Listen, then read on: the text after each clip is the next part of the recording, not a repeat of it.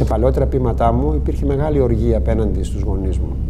Ε, τώρα που έχω γίνει και εγώ γονιός και έχω μεγαλώσει, έχω κάνει και εγώ παρόμοια λάθη με εκείνους, ε, έχω μια μεγαλύτερη ανοχή προς τα δικά τους λάθη. Οπότε ένα πείμα που γράφεται σήμερα από μένα τον ίδιο, προς την ώρα που μιλάω για αυτά τα πράγματα ή που κοιτάω το παρελθόν μου, φυσικά είναι τελείως διαφορετικό από αυτά που έγραφα πριν από 20 χρόνια.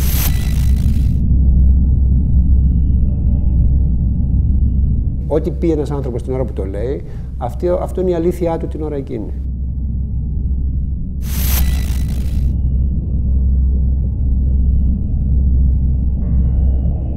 Η ζωή τα τελευταία τρία χρόνια με τροφοδότησε την ποίησή μου με πολύ πλούσιο υλικό. Είχαμε, είχα δύο θανάτους, έχασα τους γονείς μου, είχα ένα διαζύγιο στην πλάτη μου, έχασα φίλους. Δηλαδή η ζωή φάνηκε πολύ γενναιόδορη προς την ποίηση. Όταν γράφει κανείς ένα ποίημα που, ας πούμε, ξέρω εγώ, για το θάνατο της μητέρας μου ή του, του πατέρα μου, ξέρω εγώ, ε, στο θάνατο της μητέρας μου, ε, ενώ ήθελα να περιγράψω μια σκηνή, γιατί έγινε πολύ ξαφνικά, πέθανε στη Ρώμη. Εγώ την, την ώρα που πέθανε προσγειωνόμουν στο Φιουμιτσίνο και μετά με πήγαν στο νοσοκομείο. Εγώ νόμιζα ότι είναι ακόμη ζωντανή και ξαφνικά βρέθηκα μπροστά σε ένα φέρετρο.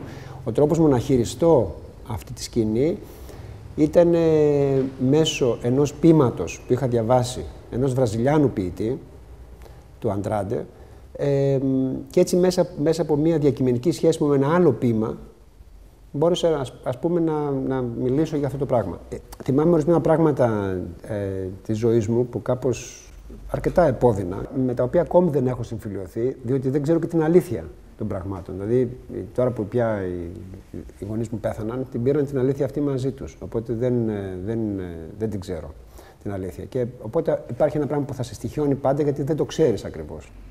Είχα γράψει παλιά ένα ποίημα με τίτλο «Η Διαθήκη του Πασκάλ», ε, και αυτό δεν το έχω πει ποτέ σε κανέναν, ε, θα πω τώρα.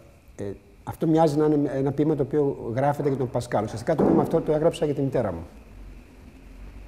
Το επεισόδιο που περιγράφω στο ποίημα είναι το εξής. Ο Πασκάλ, λίγο πριν πεθάνει, το διάβασα στη βιογραφία του, ε, ενώ ήταν τιμοθάνατο, ζήτησα την αδελφή του ένα κομμάτι χαρτί και ένα στυλό, ε, στο οποίο θα έγραφε στο χαρτί αυτό την απόδειξη της ύπαρξης του Θεού.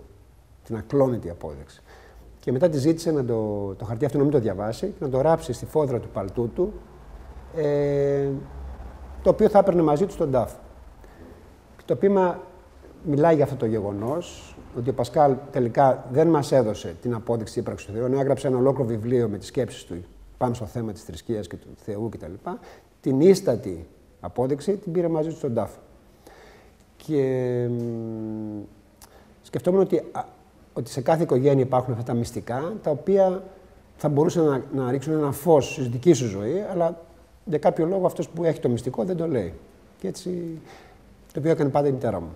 Τα μυστικά τα πήρε όλα μαζί της. Και έτσι ε, υπάρχουν πράγματα τα οποία επιστρέφουν ε, σαν ερωτήματα περισσότερο και σαν δική σου προσπάθεια να συμφιλωθεί με αυτά τα ερωτήματα. Ε, αλλά νομίζω ότι σε κάθε, κάθε άνθρωπος και σε κάθε οικογένεια υπάρχουν αυτά τα, πώς λένε οι Άγγλοι αυτοί οι σκελετοί, στις ντουλάπες μέσα, με τους οποίους κάπως πρέπει να... Πρέπει, με την αίρια του Wittgenstein πρέπει, έτσι, να συμφιλειωθούμε για να μπορούμε να συνεχίσουμε να ζούμε.